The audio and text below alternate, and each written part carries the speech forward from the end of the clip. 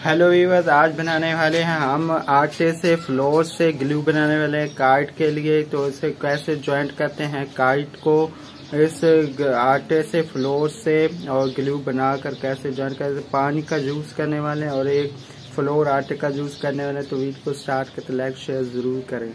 Weaver सबसे पहले हम आटे को फ्लोर को इस पानी में डालेंगे। जितना आप पानी होगा, उतना आप फ्लोर को डाल के इसको अपने कर लेना है। मिक्स, ताकि अच्छी तरह ये मिक्स हो के अपना काम करे और अच्छे से काइट, ज्वाइंटिंग हो सके और आप आसानी के साथ इसको काइट को, काइट पर लगा सकें।